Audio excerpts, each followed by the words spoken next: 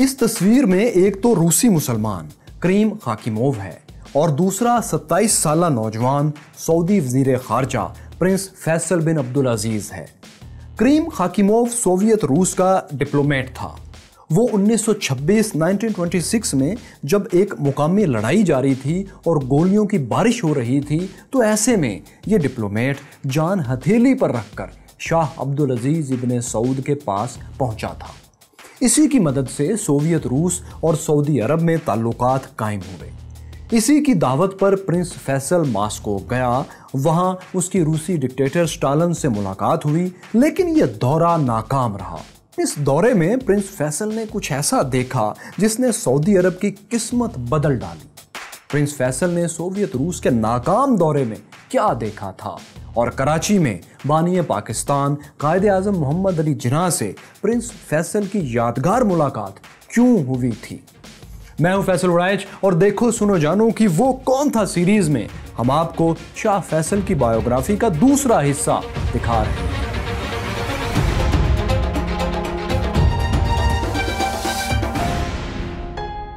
उन्नीस 1932 में जब सऊदी अरब कायम हुआ तो वहाँ बहुत से लोग जानते थे कि इस ज़मीन के नीचे एक काला पानी, यानी तेल मौजूद है। वजह यह थी कि जब लोग कुएँ खोदते तो ज़मीन के नीचे से यही काला, बदबूदार पानी, यानी तेल निकल आता था। लेकिन ये लोग तेल के फवायद से नाइल्म थे, इसलिए वो इस काले पानी, यानी तेल को नेमत नहीं, बल्कि जहमत और मुसीबत समझते थे। उन्हें तो तेल से ज़्यादा दरअसल पानी की तलाश थी। उन्हें पानी की इतनी ज़्यादा हाजत थी कि सऊदी बादशाह अब्दुल अज़ीज़ तेल की तलाश में सर्वे करने वाले गैर मुल्कियों से कहा करता था कि तुम पानी के कुएँ तलाश करो, हमें पानी की ज़रूरत ज़्यादा और फौरी है। उस वक्त तक तेल के फ़वाद का आले सऊद को इदराक ही नहीं था। सऊदी अरब में तेल की कदर सबसे पहले प्रिंस फैसल को मालूम हुई और वो भी सोवियत रूस जाकर। हुआ यह कि 1932 1932 में प्रिंस फैसल को सोवियत रूस के दौरे पर बुलाया गया। प्रिंस फैसल मास्को गया और रूसी हुक्मरान स्टालन से उसकी मुलाकात हुई। इस दौरे के दौरान रूसियों ने प्रिंस फैसल को अपनी फैक्ट्रियों का विज़िट करवाया। सऊदी अरब को पिछले बरसों में दिया हुआ कर्जा भी माफ़ कर दिया। मजीद 10 लाख ब्रिटिश पाउंड्स इमदाद की भी पेशकश कर दी। उस वक्त वैसे भी सऊदी अरब को एक एक पाई की अशद ज़रूरत थी। लेकिन इमदाद की ये पेशकश सऊदी अरब ने कबूल नहीं की। क्योंकि इसके बदले में सोवियत रूस सऊदी अरब आने वाले हाजियों में कम्युनिज्म का लिटरेचर भी तकसीम करना चाहता था। इस दौरे में प्रिंस फैसल को आज़रबाईजान भी ले जाया गया, जो उस वक्त सोवियत रूस ही का एक हिस्सा था। यहाँ फैसल बिन अब्दुल अज़ीज़ ने तेल के कुएँ देखे और वहाँ से तेल निकाल कर इसे साफ़ करने और इस्तेमाल किए जाने तक के तमाम मराहल को अपनी आँखों से देखा और उसे पहली बार तेल की ताकत का पूरा एहसास हुआ। आज़रबाईजान की ऑयल इंडस्ट्री ने उसे इतना मुतासर किया कि वो बेख्तियार कह उठा कि मेरी ख्वाहिश है, मेरे मुल्क में भी ऐसी ही इंडस्ट्री लगे।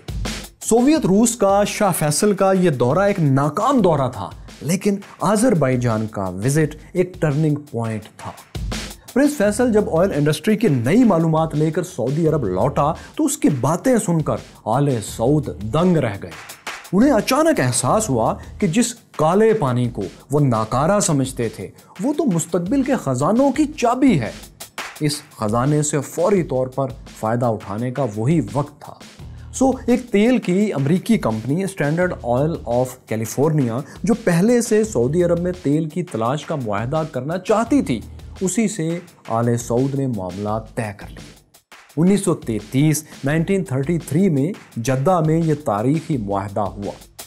इस माहदे की इस कॉन्ट्रैक्ट की शरात बहुत अहम थी।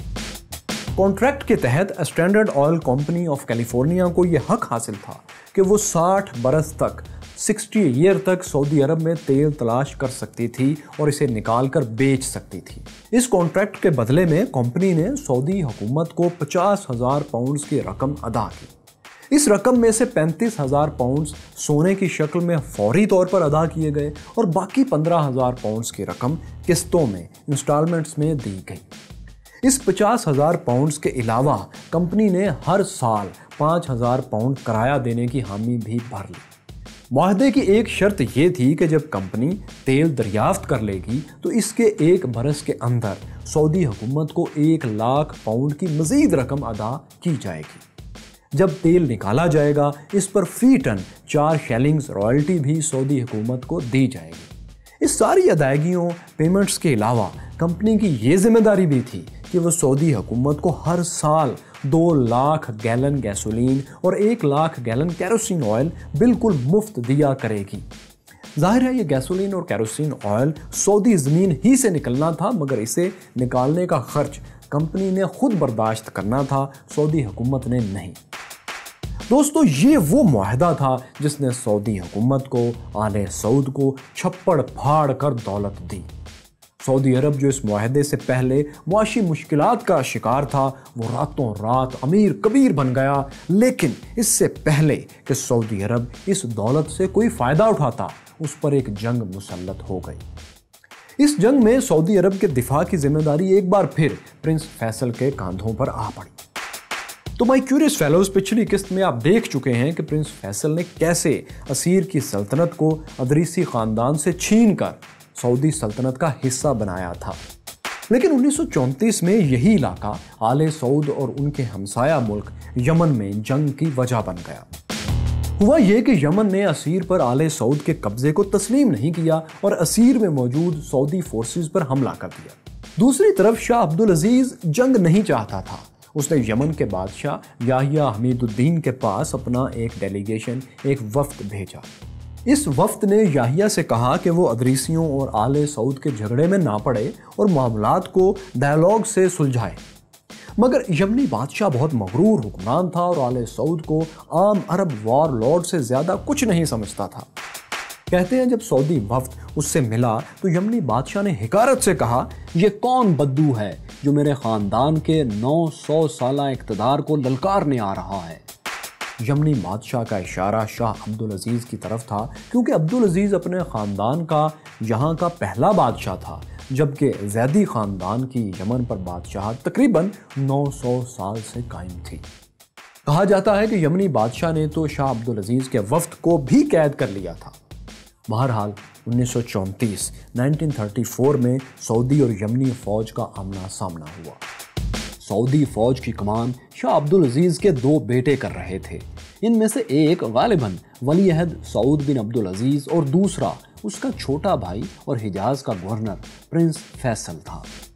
दोनों मंझे हुए कमांडर थे और अपने बाप के साथ कई जंगें लड़ चुके थे। अब असीर की सल्तनत का ज़्यादातर इलाका तो फतेह ही प्रिंस फैसल ने किया था, इसलिए वो यहाँ के चप्पे चप्पे से बखूबी वाकिफ था। उसने ज़्यादा देर नहीं लगाई और जंगी चालों से लड़ाई का पांसा सऊदियों के हक में पलट दिया। प्रिंस फैसल और सऊद बिन अब्दुल अज़ीज़ की कमान में सऊदी फौज ने यमनी फोर्सेस को मार मार के अपने मफतू इलाकों से भगा दिया। यही नहीं, बल्कि यमन के दो इलाके, नजरान और जजान भी अपने कब्जे में ले लिए।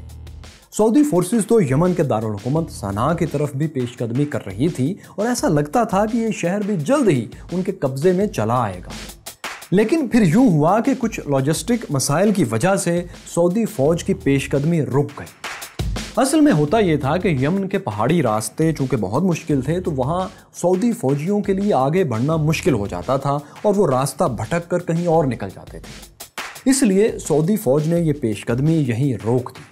मगर तब तक यमनी बादशाह जो कुछ देर पहले तक बहुत गुरूर से इन्हें बद्दू कह रहा था, वो समझ गया था कि अरब के ये बद्दू अगर जंग जारी रखेंगे तो आखिरकार उसके 900 साल इकतदार को एक दिन ज़रूर ख़त्म कर देंगे। चुनाचे उसने सऊदियों से सुलह कर ली और असीर के साथ साथ जुजान और नजरान के यमनी इलाकों पर भी सऊदी कंट्रोल को तस्लीम कर लिया। लेकिन यमन ने इस शिकस्त के ज़रिए खोई हुई अपनी ज़मीन को आज तक नहीं भुलाया। आज भी सऊदी यमन कशीदगी की बहुत बड़ी वजूहत में से एक वजह इन दो इलाकों, यानी जजान और नजरान पर सऊदी कंट्रोल है। बहरहाल दोस्तों, प्रिंस फैसल यमन की जंग से फतेह याब होकर लौटा था। उसकी फतवाहत की वजह से सऊदी सल्तनत की हदूद पहले से भी ज़्यादा हो चुकी थी, बढ़ गई थी। इस जंग के कुछ अरसे बाद 1938 1938 में सऊदी इलाके दमाम में भी तेल के वसी ज़ख़ायर दरियाफ्त हो गए। स्टैंडर्ड ऑयल कंपनी जिसने ये तेल दरियाफ्त किया था, इस कंपनी ने सऊदी अरब में अपनी तेल की तनसीबात को कंट्रोल करने के लिए एक नई कंपनी बनाई, जिसे California Arabian standard oil company का नाम दिया गया। ये वही कंपनी है जिसे 1944 1944 में फिर अरेबियन अमेरिकन ऑयल कॉरपोरेशन या आरामको का नाम दिया गया था। इस कंपनी के शेयर्स 1980 की दहाई 1980s में सऊदी अरब ने खरीद लिए थे और इसमें से अमेरिका का नाम भी निकाल दिया गया था। अब ये company Saudi Arabian oil company कहलाती है और इसका नाम शॉर्ट वर्ड्स में आरामको अल सऊदिया बोला जाता है। तो आरामको ने सऊदी अरब से बड़े पैमाने पर तेल निकालना शुरू किया और सऊदी अरब की तिजोरियाँ डॉलर्स से लबालब भरने लगीं। तेल की दरियाफ्त से पहले सऊदी अरब की सालाना आमदनी एनुअल इनकम डेढ़ lakh one hundred fifty thousand dollars के लगभग थी। लेकिन तेल के आ जाने के बाद पंद्रह बरस के अंदर सऊदी अरब सिर्फ़ तेल से 30 करोड़ 300 मिलियन डॉलर्स सालाना कमा रहा था। यानी तेल की वजह से सऊदी अरब की आमदनी में 2000 गुना इजाफा हो गया था। ये 2000 टाइम्स बढ़ चुकी थी।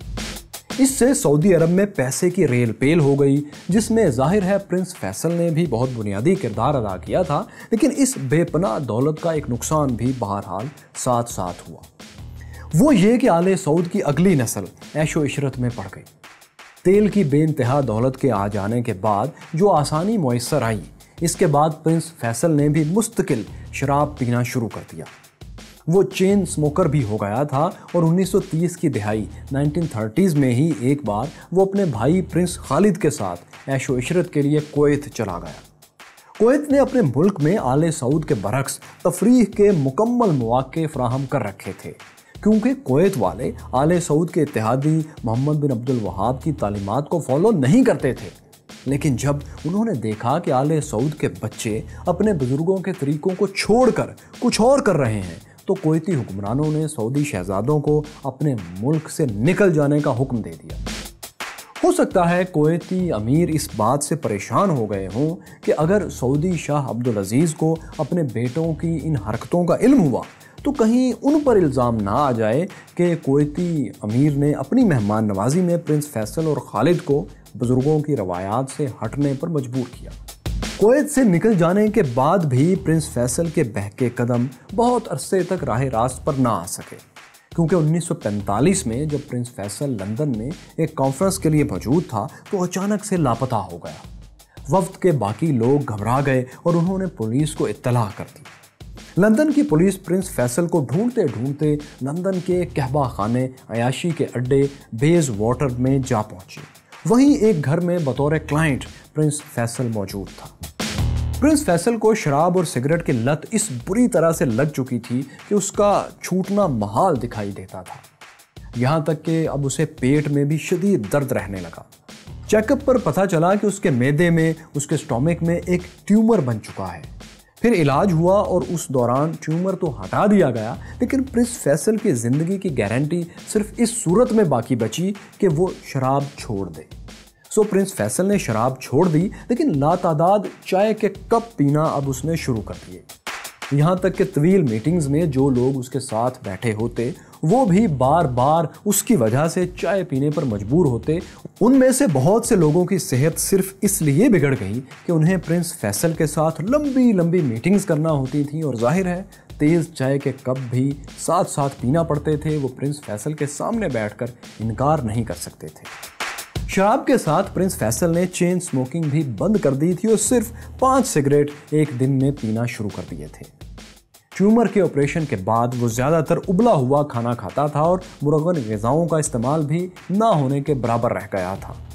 सो इन ज़ाती सेहत के मसाइल से निपटने के अलावा प्रिंस फैसल को बतौर वज़ीर खारजा एक और चैलेंज भी दरपेश आया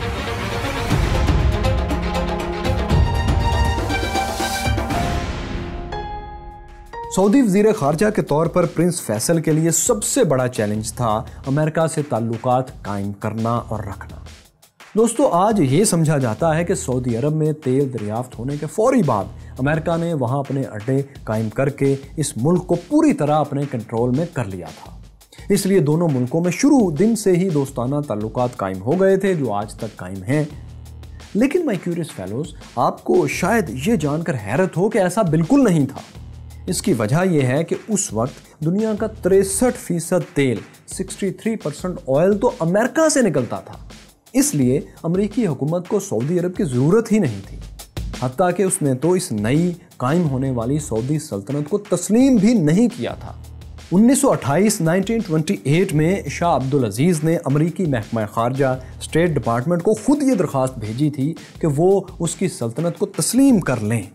याद रखें दोस्तों कि सऊदी अरब 1932 में कायम हुआ। इस नाम से जो रियासत सऊदी अरब है 1932 में कायम हुई। लेकिन ये स्टेट, आले सऊद की स्टेट 1932 से पहले कायम हो चुकी थी। 1924 में कायम हो चुकी थी। इसीलिए 1928 में शाह अब्दुल अज़ीज़ ने यह दरख्वास्त अमरीकी स्टेट डिपार्टमेंट को भेजी। इस दरख्वास्त के जवाब में अमरीकी स्टेट डिपार्टमेंट ने एक मेमो लिखा, जिसमें कहा गया था कि इबन सऊद के मुल्क की कोई कमर्शियल अहमियत नहीं है। इस बात का खदशा है कि अरब सल्तनत को तस्लीम करने से फ़वाद से ज़्यादा नाखुशगवार पेचीदगियाँ पैदा हो जाएँगी। यानी अमेरिका ने सऊदी सल्तनत को तस्लीम करने से इनकार कर दिया। अगरचे बाद में 1931 1931 में अमेरिका ने शाह अब्दुल अज़ीज़ की सल्तनत, जिसे उस वक्त नजद और हिजाज की सल्तनत कहा जाता था, उसे तस्लीम कर लिया। अब एक तरफ़ अमेरिका सऊदी अरब को कोई अहमियत देने पर तैयार नहीं था तो दूसरी तरफ़ सऊदी अरब भी अमेरिका से ताल्लुकात बढ़ाते हुए थोड़ा घबरा रहा था। इसकी वजह थी मसला फ़लस्तीन। 1930 की दहाई 1930s में यहूदी रियासत के क़्याम की कोशिशें अरूज पर थीं। फ़लस्तीन में धड़ाधड़ यहूदी आबाद हो रहे थे और इस वजह से अरबों और यहूदियों में कशीदगी बढ़ रही थी। उन्नीस 1939 में बरतानिया ने फ़लस्तीन पर बातचीत के लिए लंदन में अरब यहूदी कॉन्फ्रेंस मुनद की। अरबों की तरफ़ से प्रिंस फैसल भी इस बातचीत के लिए लंदन गया, लेकिन ये बातचीत नाकाम हो गई क्योंकि प्रिंस फैसल और दूसरे अरब नुमाइंदों ने यहूदियों के साथ एक कमरे में बैठने से इनकार कर दिया। अब दोस्तों, अमरीकी मुफाद तो यहूदी रियासत यानी इसराइल के क़याम में छुपा हुआ था। अमरीकी स्टेट डिपार्टमेंट की जारी करदा प्रेस रिलीज़ और सरकारी ऐलानात में इसराइल की हमायत की जाती थी। अमेरिका के ये बयान सऊदी हुकूमत को नाराज़ करते थे।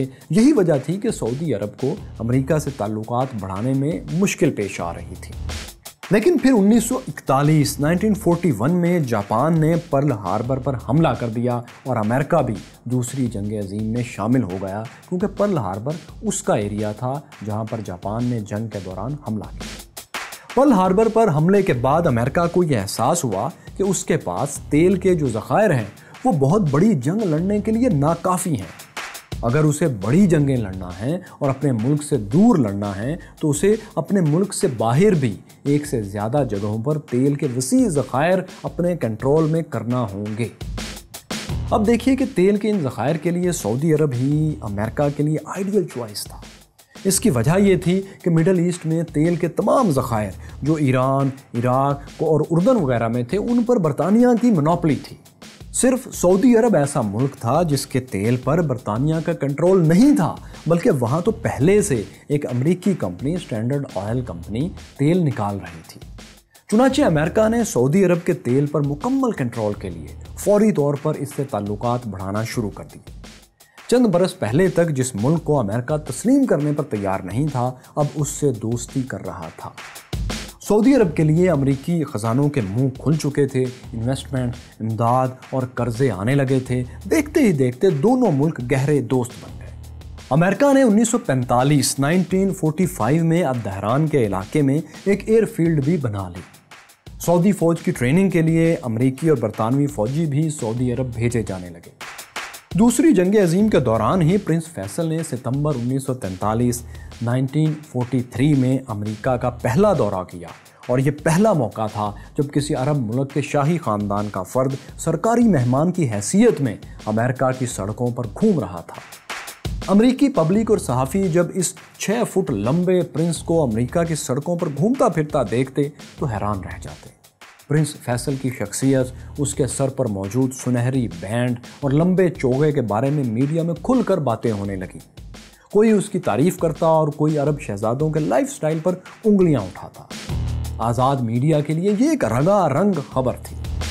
दौरे के दौरान प्रिंस फैसल ने अमेरिकी सदर रोज वैलेट के साथ डिनर किया न्यूयॉर्क स्टॉक एक्सचेंज का दौरा भी किया, लड़ाका तैयारों की फैक्ट्री भी देखी और हॉलीवुड की फ़िल्म नगरी की भी सैर की। प्रिंस ने व्हाइट हाउस के बाहर फोटोग्राफर्स के लिए बर्फ़ का गोला, स्नोबॉल फेंकने वाला एक पोज भी बनाया। अमरीकी प्रेस के लिए ये हैरत की बात थी कि एक अरब शहजादा मगरबी तौर तरीकों से वाकिफ है। बल्कि प्रिंस फैसल के मैनर्स तो इतने परफेक्ट थे दोस्तों कि उससे अमरीकी मेज़बान भी एक दफ़ा हैरान रह गए। जब प्रिंस फैसल अमेरिका का दौरा ख़त्म करके लौटा तो उसने अपने वालिद को इस दौरे के मुतलिक ब्रीफिंग दी और साथ ही एक काम की बात भी बता दी। उसने शाह अब्दुल अज़ीज़ से कहा कि अमरीकी सदर रोज वैलेट को डाक टिकटें जमा करने का बहुत शौक है। इस इतला पर शाह अब्दुल अज़ीज़ ने फौरी तौर पर रोज़ वैलट को सऊदी डाक टिकटों का एक सेट तोहफे में रवाना कर दिया। इस तोहफे के जवाब में रोज़ वैलेट ने सऊदी शाह को शुक्रिया का एक ख़त लिखा। यूँ सऊदी शाह और अमरीकी सदर में खुशगवार बरह रास्त रबते कायम हो गए। इन्हीं रबतों के नतीजे में दो बरस बाद 1945 1945 में एक और इनकलाबी पेशरफ हुई। अमरीकी सदर रोज वैलट सऊदी बादशाह अब्दुल अज़ीज़ सऊद से मिलने आ गया और वो तारीखी तस्वीर वजूद में आई, जो फिर यूएस सऊदी रिलेशंस की एक अलामत बन गई।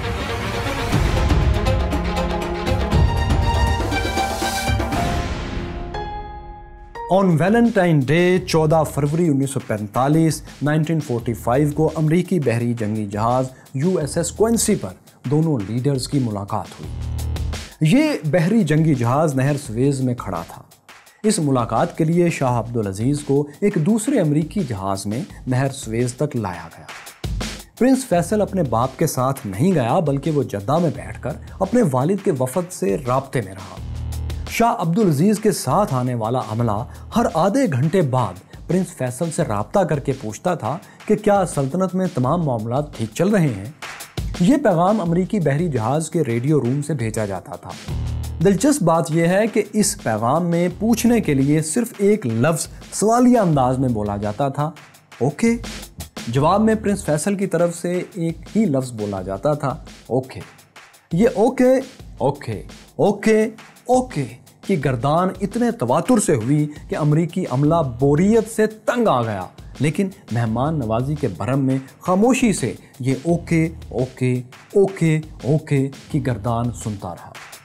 जब शाह अब्दुल अज़ीज़ और रोज़ वैलट आमने सामने बैठे तो इस बात का भी ज़िक्र आ गया, जिसकी वजह से दोनों मुल्कों में कुछ टेंशन्स थी, यानी मसला फ़लस्तीन।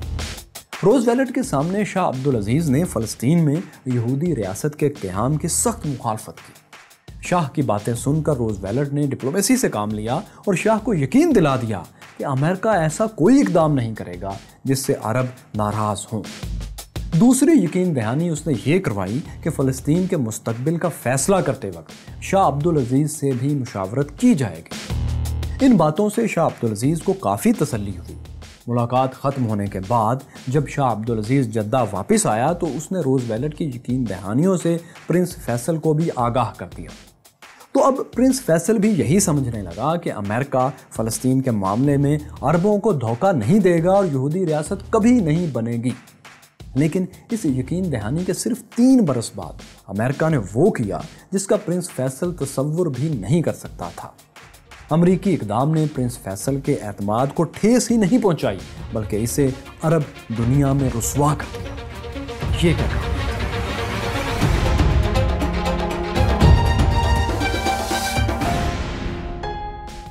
दोस्तों, इसराइल का क़याम अकवा मुतहदा यूनाइटेड नेशंस या यूएनओ में वोटिंग के ज़रिए अमल में आया था। आप जानते हैं कि यूएनओ दूसरी जंग अजीम ख़त्म होने के बाद 1945 में कायम हुई थी। इसके क़याम के तारीखी लम्हात का नज़ारा करने वालों में प्रिंस फैसल भी शामिल था।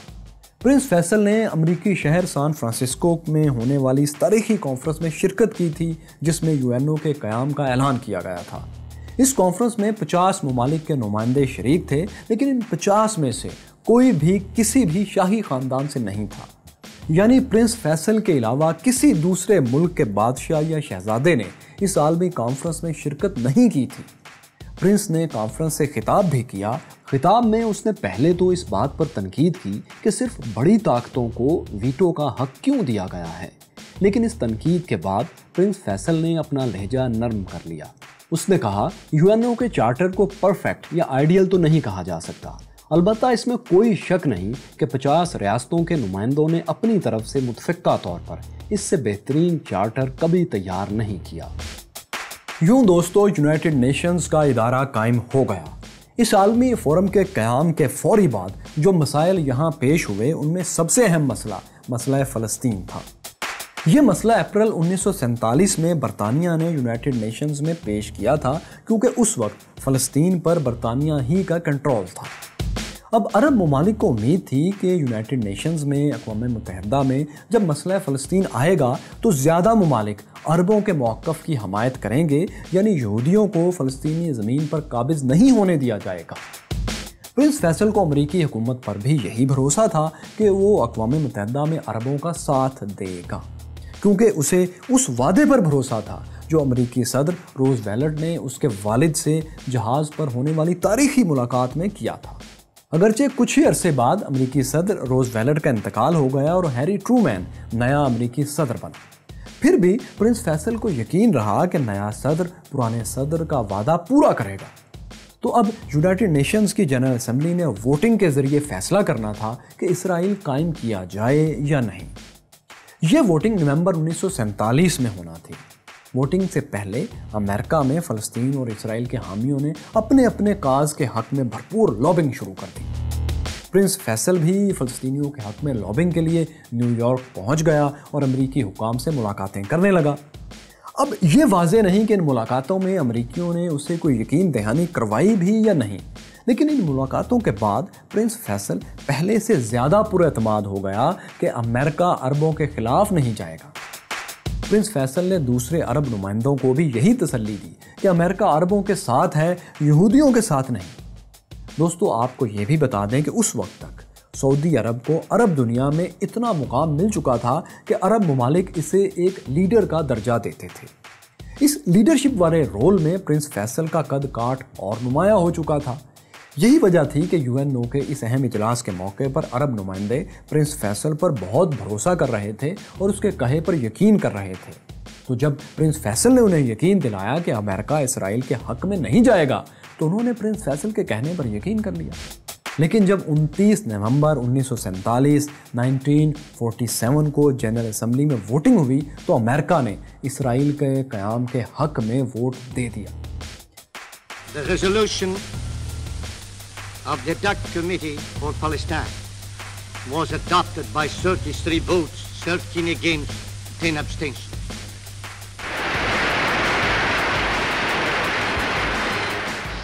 America समेत 33 33 ममालिक ने इसराइल के क्याम के हक में वोट दिया तेरह ने इसके खिलाफ वोट दिया और 10 रियासतों ने वोटिंग में हिस्सा ही नहीं लिया यूँ जनरल असम्बली ने 20 वोटों की अक्सरियत से, मेजोरिटी से फ़लस्तीन को यहूदियों और फ़लस्तीन में तकसीम करने की मंजूरी दे दी। इस मंजूरी के नतीजे में इसराइल के क़्याम को कानूनी जवाज़ मिल गया और 4 मई 1948 1948 को इसराइल कायम हो गया। अमेरिका का इसराइल के हक में वोट देना वो लम्हा था जो प्रिंस फैसल के दिल में कांटे की तरह चुप गया। अमेरिका ने ना सिर्फ़ ये कि प्रिंस फैसल और सऊदी अरब को धोखा दिया था, बल्कि प्रिंस को दूसरे अरबों की नज़र में भी रसवा कर दिया था। ये प्रिंस फैसल ही था जो तो दूसरे अरब नुमाइंदों को यकीन दिला रहा था कि अमेरिका उनके साथ है, इसराइल के साथ नहीं। मगर अमेरिका की बेवफाई ने अरब नुमाइंदों के सामने प्रिंस फैसल की क्रेडिबिलिटी को बहुत नुकसान पहुँचाया। यूँ प्रिंस फैसल के लिए अमेरिका से ताल्लुकात कायम रखना और इस ताल्लुकात को अरब दुनिया में जस्टिफाई करना एक ऐसा चैलेंज बन गया जो फिर उसकी आखिरी सांस तक एक कशमकश में रहा। कहा जाता है कि अमेरिका की इस धोखादही के बाद प्रिंस फैसल ने अपने वालिद शाह अब्दुल अज़ीज़ को मजबूर भी करने की कोशिश की कि वो अमेरिका से ताल्लुकात तोड़ दे। लेकिन शाह अब्दुल अज़ीज़ ने ऐसा नहीं किया। प्रिंस फैसल इतना दिल बर्दाश्ता था कि उसने जद्दा में एक अमरीकी नुमाइंदे से कहा, अगर मेरे बस में होता तो मैं आज अमेरिका से सारे ताल्लुक ख़त्म कर देता। माई क्यूरियस फेलोज इन्हीं परेशानी के दिनों में प्रिंस फैसल ने अमेरिका से मायूस होकर मुसलमान ममालिक से ताल्लुकात मज़बूत करने के बारे में सोचना शुरू किया। बल्कि इसकी इब्तदा वो पहले ही कर चुका था और वो इलाके जहाँ मुसलमान आबाद थे, लेकिन वो इलाके ग़ुलाम थे, वहाँ भी प्रिंस फैसल ताल्लुक बना रहा था। इनमें पाकिस्तान भी शामिल था। यानी पाकिस्तान से प्रिंस फैसल के ताल्लुक हम कह सकते हैं कि हमें पाकिस्तान से पहले के हैं।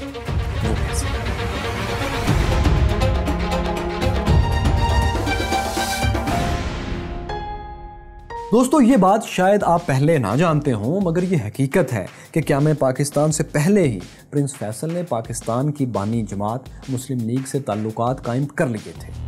1940 1940 में जब लाहौर में करारदाद पाकिस्तान मंजूर हुई तो इसके चंद हफ़्ते बाद ही प्रिंस फैसल और सऊदी वली अहद इबन सऊद कराची आए थे।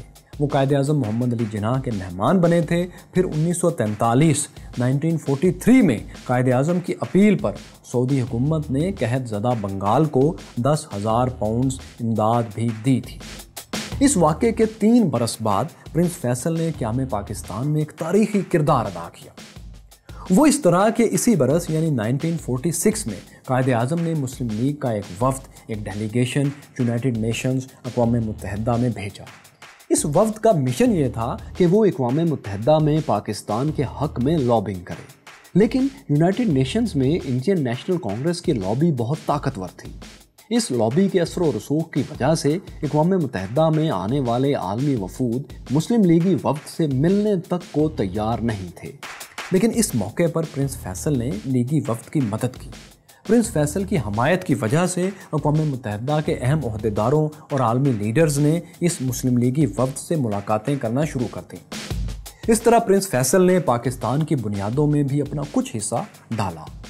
ये दोस्ती फिर पाकिस्तान बनने के बाद फैसल बिन अब्दुल अज़ीज़ की आखिरी सांस तक आप जानते हैं कि कायम रही। जिस वक्त प्रिंस फैसल सऊदी अरब से बाहर नए रिश्ते तलाश कर रहा था तो उन्हीं दिनों उसके अपने भाई उसके खिलाफ हो रहे थे।